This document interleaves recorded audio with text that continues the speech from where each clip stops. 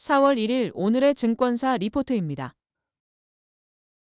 이 시각 현재 총 33개의 기업 리포트가 발간되었습니다. 오늘 목표 주가를 상향 조정한 리포트는 11개이며 하향 조정한 리포트는 5개입니다. 상향 조정된 종목 수는 8개, 하향 조정된 종목 수는 4개로 나타났습니다. 목표 주가가 상향 조정된 기업으로는 크래프톤, 삼성전자, 롯데에너지 머티리얼즈가 포함되며 하향 조정된 기업으로는 카카오, 포스코 홀딩스, 롯데 정밀화학이 포함되었습니다. 교보증권에서 크래프톤에 대한 리포트를 발간했습니다. 리포트에 따르면 투자 의견으로 매수를 제시하며 투자 의견 변경 방향은 유지하였습니다. 목표 주가를 상향하여 30만 원을 제시하였고 현재 가격은 24만 7천 원으로 목표 주가와 현재가 차이는 21.46%입니다. 교보증권에서 발행한 크래프톤에 대한 리포트 요약에 따르면 1분기 매출과 영업이익이 시장 예상치에 부합할 것으로 예상됩니다.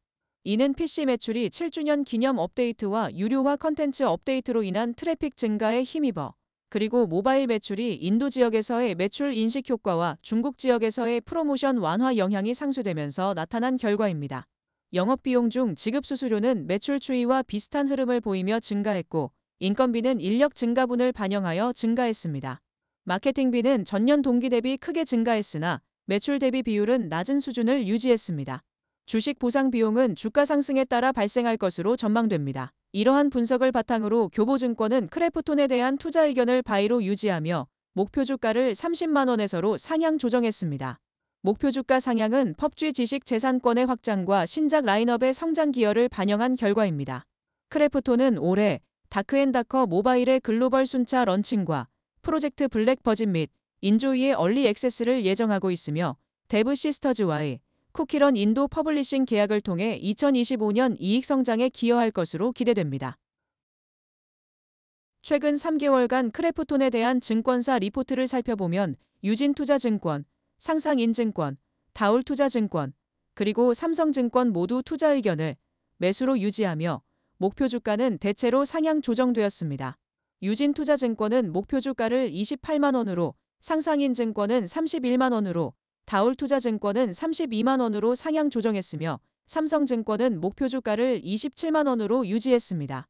이들 리포트는 크래프톤의 성장 가능성과 시장 내 선점 및 트렌드 선도 능력, 그리고 AI 도입의 긍정적 영향을 강조하고 있습니다.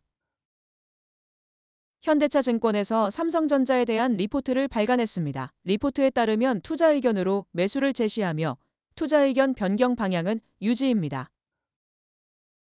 목표 주가를 상향하여 9만 5천 원을 제시하였고 현재 가격은 8만 2,400원으로 목표 주가와 현재가 차이는 15.29%입니다. 현대차증권에서 삼성전자의 목표 주가를 8만 9천 원에서 9만 5천 원으로 상향 조정하며 투자 의견 바이를 유지했습니다. 이는 메모리 업황 개선을 반영하여 주가 순자산 비율을 1.6배에서 1.7배로 조정한 결과입니다. 삼성전자의 1분기 매출액과 영업이익은 메모리 반도체 가격 상승과 갤럭시 S24 판매 호조로 전분기 대비 각각 8.5%, 102.2% 증가할 것으로 예상됩니다. 메모리 반도체 부문에서는 디램과 낸드의 가격 상승으로 수익성이 크게 개선될 것으로 보이며 특히 디램과 낸드의 평균 판매 가격이 전 분기 대비 각각 16.3%, 21% 상승할 것으로 예상됩니다. 그러나 스마트폰과 PC 수요의 부진에도 불구하고 하반기부터는 AI 스마트폰 수요 증가와 함께 메모리 반도체 업황이 여전히 양호할 것으로 전망됩니다. 생성형 AI 서비스 확대로 인한 GPU, NPU 출하량 급증은 HBM 시장의 고속 성장을 예상케 하며 삼성전자는 학습과 추론용 HBM33 및 추론용 GDDR7을 공급하며 AI 반도체 업체들의 맞춤 수요를 충족할 것으로 보입니다. 최근 3개월간 삼성전자에 대한 증권사 리포트를 살펴보면 유진투자증권, NH투자증권, KB증권, 하나증권 모두 투자 의견을 매수로 유지하며 긍정적인 전망을 내놓았습니다. 목표 주가는 유진투자증권에서 10만 7천 원으로 상향 조정되었고 NH투자증권과 하나증권에서는 10만 원으로 KB증권에서는 9만 5천 원으로 각각 제시되었습니다. 이들 리포트는 삼성전자가 긴 겨울잠에서 깨어나기 시작했으며 메모리 호황을 주가에 반영해야 할 때라고 분석하고 있습니다. 삼성증권에서 롯데 에너지 머티리얼즈에 대한 리포트를 발간했습니다. 리포트에 따르면 투자 의견으로 매수를 제시하며 투자 의견 변경 방향은 유지하였습니다. 목표 주가를 상향하여 6만 원을 제시하였고 현재 가격은 4만 9천 원으로 목표 주가와 현재가 차이는 22.45%입니다. 삼성증권에서 발행한 롯데 에너지 머티리얼즈에 대한 리포트 요약입니다. 북미 고객사를 대상으로 한 경쟁 공급선의 품질 이슈로 인해 롯데 에너지 머티리얼즈의 1분기 판매가 분기 최대치를 기록할 것으로 예상됩니다. 이는 전년 동기 대비 44%, 전분기 대비로는 4% 증가한 것으로 연결 매출은 분기 최대 매출을 기록할 가능성이 높습니다. 그러나 영업이익은 매출 증가에 비해 제한적인 개선이 예상되며 영업마진은 2%에 그칠 것으로 보입니다. 하반기에는 말레이시아 신규 공장 가동과 핵심 고객사의 배터리 합작 공장 조기 가동 가능성으로 인해 판매 증가가 더욱 두드러질 전망입니다. 중국발 동박 공급 과잉 우려에도 불구하고 고객사의 공급 점유율에 미치는 영향은 제한적이라는 점은 긍정적인 요소입니다. 하지만 북미 및 유럽 고객사를 대상으로 한 물류 비용 상승은 리스크 요인으로 남아 있습니다. 최근 3개월간 발표된 증권사 리포트를 종합해보면 롯데 에너지 머티리얼즈에 대한 투자 의견은 일관되게 매수로 유지되었으며 목표 주가는 키움증권에서 6만원, NH투자증권에서는 상향 조정된 5만 9천원, BNK투자증권과 유진투자증권에서는 하향 조정된 5만원으로 설정되었습니다. 이는 전략 고객향 출하량 확대, 고객 구성 변화에 따른 질적 성장, 하이엔드 동박의 차별화된 수익성 기대, 그리고 말레이시아 공장의 성장 가능성 등 다양한 요인에 기반한 평가입니다. 미래에셋증권에서 카카오 주식에 대한 리포트를 발간했습니다. 리포트에 따르면 투자 의견으로 매수를 제시하며 투자 의견 변경 방향은 유지하였습니다. 목표 주가를 하향하여 7만 8천 원을 제시하였고 현재 가격은 5만 3,700원으로 목표 주가와 현재가 차이는 45.25%입니다. 미래에셋증권에서 발행한 카카오에 대한 리포트를 요약해 드리겠습니다. 카카오의 1분기 매출액과 영업이익이 시장 예상치를 하회할 것으로 전망됩니다. 이는 카카오 모빌리티의 회계 정책 변경과 인건비 증가 때문입니다. 특히 카카오 모빌리티는 가맹 택시 수수료 인식 방식을 변경함에 따라 매출 인식 비율이 크게 줄어들었습니다. 영업이익의 경우 인건비 증가가 주된 요인으로 분기당 상여금이 안분 인식될 예정입니다. 한편 24년 톡비즈 광고 매출은 메시지형 광고의 성장이 견인할 것으로 보이며 하반기 이후 광고 단가 상승이 기대됩니다. 이러한 배경을 바탕으로 미래 에셋증권은 카카오의 목표 주가를 기존 대비 5% 하향 조정했습니다. 이익 모멘텀, commerce 성장, new initiative 부문의 비용 효율화 가능성을 고려할 때 현재 valuation은 부담스럽지 않다고 평가했습니다.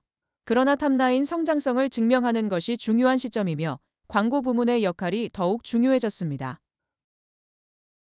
최근 3개월간 발표된 증권사 리포트를 종합해보면 카카오에 대한 투자 의견은 일관되게 매수로 유지되었으며 목표 주가는 키움증권에서 6만 9천 원으로 하향 조정된 반면 SK증권에서는 7만 8천 원으로 상향 조정되었고 하이투자증권과 한화증권에서는 각각 7만 5천 원으로 유지되었습니다.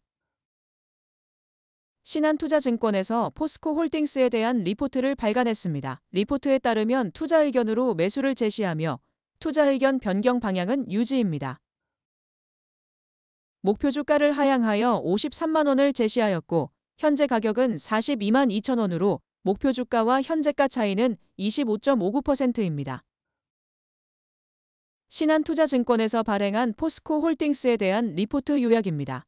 1분기 실적은 시장 기대치를 하회할 것으로 전망됩니다. 이는 철강 부문의 평균 판매 단가 상승이 기대에 미치지 못하고 인건비 등 일회성 성격의 비용이 추가로 반영되었기 때문입니다. 전방 산업의 회복 지연과 중국산 수입 철강제 가격 하락의 영향으로 톤당 평균 판매 단가 인상이 당초 예상보다 낮을 것으로 보입니다. 하지만 1분기를 바닥으로 영업이익은 2분기부터 점차 회복할 전망입니다. 철강의 평균 판매 단가와 판매량이 소폭 우상향하며 2분기에는 6천억 원대 영업이익을 기록할 것으로 예상됩니다. 하반기에는 철광석과 원료탄 등 주요 원재료 가격의 하향 안정화가 실적 상승을 견인할 것으로 보입니다. 올해 탄소강 판매량은 지난해와 유사한 수준을 유지하며 철강 부문 영업이익은 전년 대비 감소할 것으로 예상되나 전사 영업이익도 감소할 것으로 전망됩니다. 최근 3개월간 포스코 홀딩스에 대한 증권사 리포트를 살펴보면 삼성증권, 현대차증권, 메리츠증권, 이베스트 투자증권 모두 매수 의견을 유지하며 목표 주가는 각각 55만원, 62만원, 63만원, 60만원으로 설정했습니다. 이들 리포트는 시황 회복에 대한 기다림이 필요하나 회사의 방향성은 유지될 것으로 보고 있으며 특히 리튬 업황의 회복이 포스코 홀딩스에 긍정적인 영향을 줄 것으로 전망하고 있습니다. 대신증권에서 롯데 정밀화학에 대한 리포트를 발간했습니다. 리포트에 따르면 투자 의견으로 매수를 제시하며 투자 의견 변경 방향은 유지입니다. 목표 주가를 하향하여 6만 원을 제시하였고 현재 가격은 46,850원으로 목표 주가와 현재가 차이는 28.07%입니다.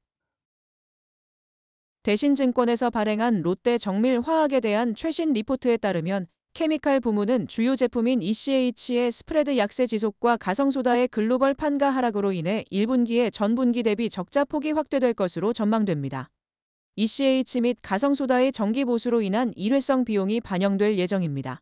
반면 그린 소재 부문은 식이양용 셀룰로스의 견조한 수익성 유지와 판매량 회복으로 인해 긍정적인 영향을 받겠지만 전방 산업 부진으로 인한 산업용 셀룰로스의 판가 하락으로 이익 개선은 제한적일 것으로 보입니다.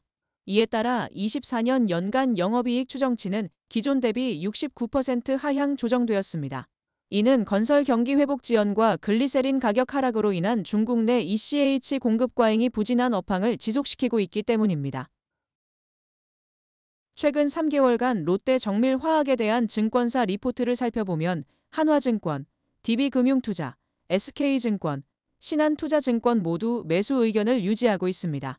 목표 주가는 한화증권과 DB금융투자가 6만 7천 원으로 SK증권은 7만 5천 원으로 신한투자증권은 7만 2천 원으로 조정되었습니다. 이중 DB금융투자와 신한투자증권은 목표 주가를 하향 조정했습니다.